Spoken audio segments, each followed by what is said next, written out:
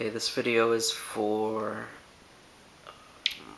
I forgot his name, but um, basically it's a YouTube user who um, I've been chatting back and forth, and he uh, agreed to send me his Wii because he was having trouble soft modding it, and um, he wanted the same layout I had, so I um, got it yesterday and I worked on it last night. Um, I changed the uh, intros um, I changed the whole theme, the Wii theme.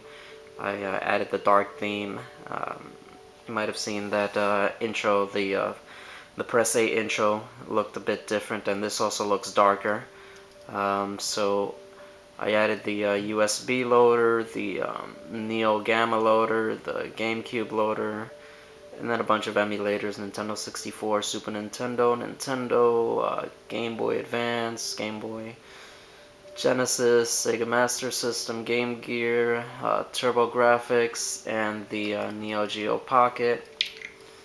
I added a couple of uh, Wii channels uh, for some games, and I added some uh, uh, Virtual Console games, the Homebrew channel, and the Power Off channel. Um, let me just show you what everything looks like.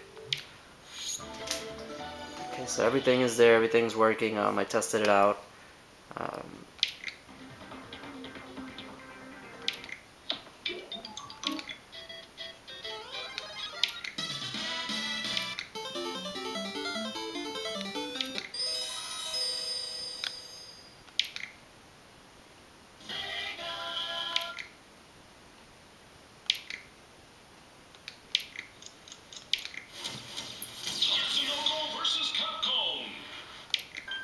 And these, um, I'll give you a little write-up on how to create these channels. It's um, it's fairly simple once you have all the games on the hard drive.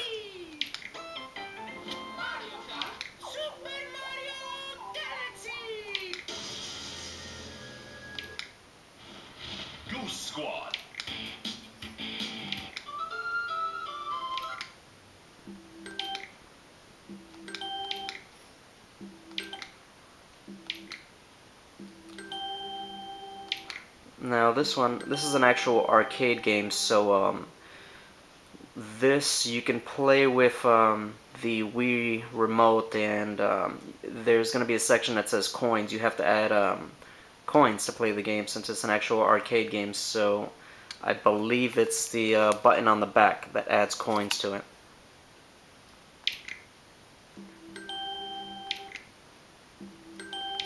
This one is um, Super Mario All-Stars and Mario World. So All-Stars is Super Mario 1, 2, 3, and the Lost Worlds. The um, This is the Nintendo version. They just uh, upgraded it for Super Nintendo.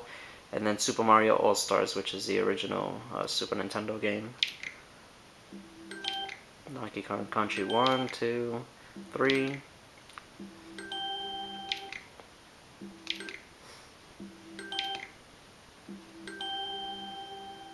That's pretty much it. So I put all the other channels towards the end here, and then the homebrew channel. Um, don't don't really mess with this um, unless you do some reading. Um, you can really screw up your system. And then the power off channel is just basically if you're lazy and you don't want to get up, you just press start and turns your Wii off. So there you go. Wii shutting down